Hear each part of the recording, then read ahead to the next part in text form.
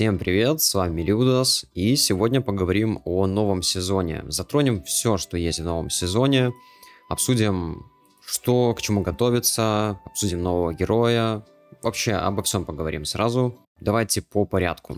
Нам доступно в игре в новом сезоне в данный момент три локации. Возможно, будет четвертая, я не уверен, но в данный момент три локации. Это пепельные пустоши, где, собственно, пустыня, тут и гроза, тут э, песчаные бури. Сделано все великолепно, очень красивые локации. Здесь стоит каждую посетить, все посмотреть. Музыка, звуки, все проработано на высшем уровне. Эта локация мне очень сильно понравилась. А также доступна нам разрушенный анклав. Это получается уже вторая локация. Это тоже пустынная локация, но как бы тут скалы, горы, и также среди них находится небольшой город. Очень красивый город, тоже сделано все со вкусом. Достаточно все красиво проработано. Посмотрите на эти мельницы, посмотрите на это все. Здесь выглядит все просто великолепно. Реально очень круто сделано. Очень.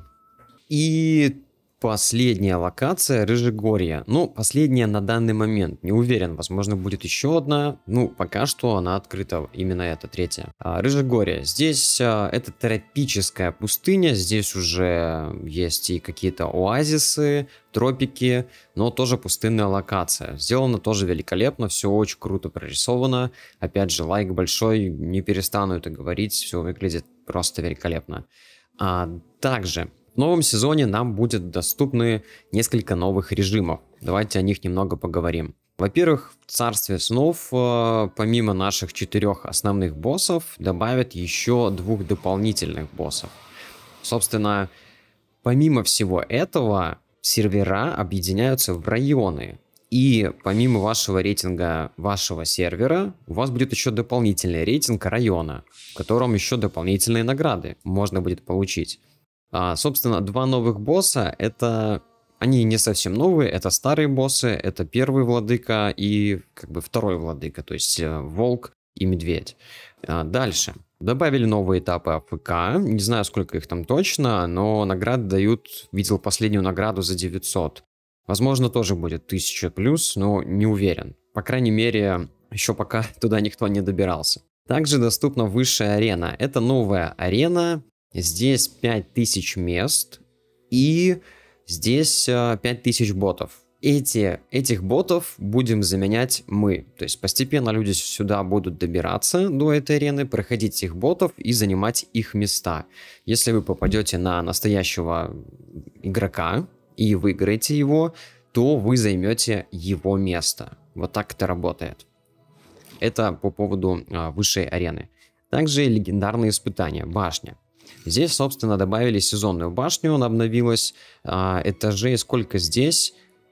Не скажу, честно не знаю, здесь нету такого, то есть если в обычной башне было 90, здесь пока что информации такой я не вижу, возможно где-то здесь можно будет это увидеть, нет, тут тоже не указано, то есть открыта новая сезонная башня, тоже с дополнительными наградами. Также переработана дуэль чести и переработаны боевые игры. Здесь а, будет а, дополнить какие-то новые режимы. Новые режимы я тут пока что еще не разобрался, еще пока что она не открыта. Через три дня у меня откроется. Интересно будет поиграть. Дальше, по поводу нового героя. Это очень спорный момент. Почему? Потому что этому герою, чтобы он хорошо играл, нужен еще один герой. Это Эйрон, обязательно. Минимум на мифик плюс. Минимум просто. А вообще выше плюс и с оружием прокачанным. То есть э, не для всех, не для free-to-play, однако, если вы изначально собираете пачку с Альсой, то есть как free-to-play, то не составит труда также там упор делать то, чтобы как можно скорее достать Эрина. Хотя это достаточно рандомный герой, его нигде особо не возьмешь, он чисто рандомно выпадает, выпал или нет, то есть вот так. Поэтому все зависит от того, есть у вас этот герой или нет. Протестировал я этого героя, герой безумно сильный, он очень силен в PvP, на ютубе куча есть э, видосов с пачками с PvP пачками, но там и рейнеры используют, то есть опять же не фри-то-плей путь. А, герой прекрасный, на боссах бьет очень хорошо, в PvP силен, а в новом сезоне показывает себя отлично, особенно с соперниками, которые двигаются. Здесь в новом сезоне есть соперники, которые очень быстро двигаются, и э, она как раз-таки там очень хорошо помогает. А, интересно будет также увидеть ее синергию с Сороном. Да, который выйдет у нас чуть-чуть попозже, я так понимаю, после 20 дней. Сколько у нас осталось? Ну, на момент записи ролика 17 дней, да. Через 17 дней здесь выйдет Сорен. Скорее всего, будут давать там по 4 копии за... или по 8 копий. Честно, не знаю. Должны давать вроде как по 8 копий, насколько я понимаю, за 40 круток. Плюс-минус. По моим предположениям, это должно быть именно так. Собственно, поэтому Решать уже вам, призывать этого героя или нет, но мое мнение, герой безумно силен. Особенно с Эйроном это будет выглядеть просто великолепно. Дальше, касательно нового сезона. У нас также доступны задачи на поиск сокровища.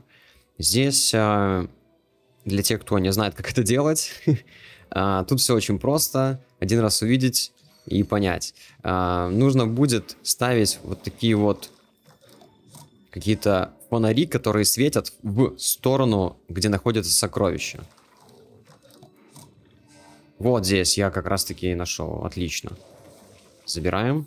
Все, фонарь светит ровно туда, где находится сокровище. Вы не выбираете, в какую сторону а, светить этим фонарем. Фонарь сам светит туда, где находится сокровище. Это по поводу этого режима. Также здесь куча разных задач будет доступна.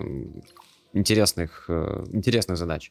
Также здесь у нас открыт, скоро будет открыт э, новый босс. Давайте к нему подойдем поближе и посмотрим, что там. Итак, мы дошли до нового босса. Я к нему подошел, сразу камера отдалилась. Выглядит он безумно стрё... стрёмно, реально. Какой-то жук-носорог с кучей лап, как типа паук, что ли. Выглядит очень стрёмно. Пока что он такой красно-черный. Когда будет уже выходить босс, увидим его в, в раскраске. Ну, выглядит реально безумно стрёмно. Будет он через 29 дней на момент записи. Ну, получается, через месяц будем пробовать его бить.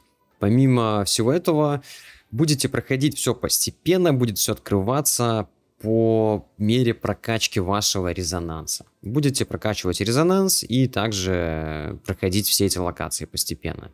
Например, здесь уже требуется 150 резонанс для второй локации, там для третьей 170 и там для последней 190 аж резонанс. Я уверен, что скорее всего добавятся еще, еще локации, которые выйдут, наверное, не сейчас, а чуть попозже. Я уверен, это будет, здесь будет дополняться и так далее. Это 100%, здесь будет куча всего.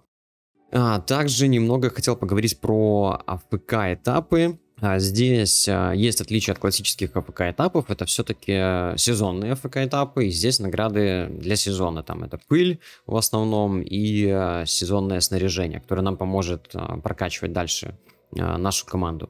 Мультикоманда доступна здесь и битва. Мультикоманда, насколько я понял, если ты пройдешь этот этап один, да, то у тебя добавится плюс один к прогрессу АФК этапов. То есть, ну, вот так это работает. Они независимы друг от друга, просто получается так, вот я нахожусь на 235-м, если мультикомандой выиграю сейчас бой, я стану на 236-м. Вот, то есть вот так это работает. Здесь, я так понимаю, в мультикоманде ограниченное количество боев, там их э, гораздо меньше, чем в обычной битве. Что еще? А, скоро будет доступен у нас новый режим, откроется он, а, когда я пройду 305 АФК и также через 4 дня. То есть, скорее всего, 305 ФК я пройду раньше, чем через 4 дня, но режим откроется только через 4 дня. Испытание дары. В испытании дары мы будем получать, э, собственно, такие штуки, которые будут прокачивать у нас э, здесь эм, какие-то эмблемы героя, вот так это называется, эмблемы героя будут э, доступны, которые будем вставлять в своих героев, чтобы также их усилять. Из доната. Здесь есть достаточно выгодный донат. Это, естественно, сезонный путь славы, который позволяет получить кучу золота, пыли, сезонных вот этих вот книг. А, билеты также даются. Кстати, здесь 30 билетов, да, 30 билетов быстрых круток и 30 билетов обычных круток. В принципе, неплохо. Это выгодное предложение, оно стоит 10 долларов левое. Правое брать не обязательно, если как бы, ну, за 10 долларов взять супер буст для, для своего сезона, для своего аккаунта, я считаю, это очень дешево. А дальше из выгодных доступно, ну, естественно, все его видели, это набор для роста, да. Здесь за прохождение AFK -этапов 110 эпических билетов и 15 тысяч алмазов за 30 долларов, по-моему. Очень выгодно, крутое предложение. И также есть еще одно более-менее нормальное предложение. Это за, ну, это уже для больших донатеров там условно. Это за 1500 кристаллов дракона. Здесь можно выбрать а, в сундуке, что вы хотите взять. Тоже очень-очень выгодно. И еще кое-что хотел затронуть. Это снаряжение и артефакты. В этом сезоне есть одна проблема. Это золото. Золота не хватает. То есть я сейчас не могу прокачивать э, никак свое снаряжение. 170 тысяч стоит прокачка снаряжения. За просто одного снаряжения. Осталось 500 тысяч золота. Это просто жесть. Все золото улетело, нету ничего. Также за прокачку новых сезонных артефактов требуется очень много золота. И все ушло тоже сюда. Сезонные артефакты, они достаточно сильные. По моим ощущениям, они в принципе сильнее, чем классические артефакты. Вы можете использовать стандартные, можете использовать сезонные. Однако в сезоне эти артефакты будут куда лучше. И чем больше вы прокачиваете, тем больше они дают э, статов. Здесь, э, помимо этого, еще открываются дополнительные там, навыки и так далее. То есть сезонные артефакты очень сильные. Дальше по ним пройдемся. Этот артефакт у нас, собственно, на защиту. Этот артефакт на урон, магический урон. Здесь на физический урон. Также может, кстати, контроль выдать. И здесь артефакт э, тоже магический, но он такой, честно говоря, наверное, не самый вау. Вот этот артефакт э, для боссов и вот этот артефакт для боссов будет лучше. Все зависит уже от вашей команды. С магическим мана уроном или с физическим уроном. Собственно, как-то так. Я прохожу вот с этим артефактом компанию с вот этим артефактом, с вот этим артефактом. Иногда этот использую. Собственно, тут лучше почитать. Э, Все-таки все зависит от вашей команды, от вашего отряда. Это очень важно. Здесь можно использовать абсолютно разные. А старые артефакты в прохождении не использую. Ну, как старые, наши классические. Минус один единственный здесь есть для меня это золото. Нехватка золота. Я думаю, что у фри-то-плей игрока там еще больше нехватка золота я даже не, не представляю. Здесь э, стоит это все безумно много. Хотя, наверное, сделано здесь все так, чтобы давалось всего впритык, однако у меня осталось 500 тысяч. И если я сейчас прокачаю э, снаряжение, то этих денег просто не станет. И это при том, что я ни разу не покупал у кузнеца э, оружие. Здесь есть кузнец в самой первой локации, ни разу не покупал у него ни одного оружия. Можно, по-моему, посмотреть, если я не ошибаюсь. Но вроде бы ни одной покупки не совершал. Или же в самом начале взял одно оружие. Может быть, есть грешок, сейчас посмотрим, узнаем. Купить что-нибудь. Не-а, ничего не покупал. Ни разу. Ни разу не покупал. Не советую вам это брать, ребят. Эм, вообще это того не стоит. Не покупайте здесь ничего. Вы очень совершите большую ошибку. Больше сказать нечего. От себя могу добавить, что мне очень понравился этот герой. Я буду делать Эрина под нее. Буду делать такую пачку. Прикольно. Реально. И также буду ждать Сорена. Сорен, я так понимаю, что-то наподобие Корина. Ну да, это что-то наподобие Корина будет. А как раз таки под нее зайдет, будет отталкивать, давать дополнительный контроль. То есть э, мне герой очень нравится, мне очень понравился сезон, сделано здесь все прекрасно. Музыка, кстати, вообще за, за нее отдельный респект. Э, вот не знаю, подметили ли вы, но музыка здесь великолепная. Вам всем, ребят, огромное спасибо за просмотр. Подписывайтесь на канал, если было интересно. Ставьте палец вверх. И до скорых встреч. Пока-пока.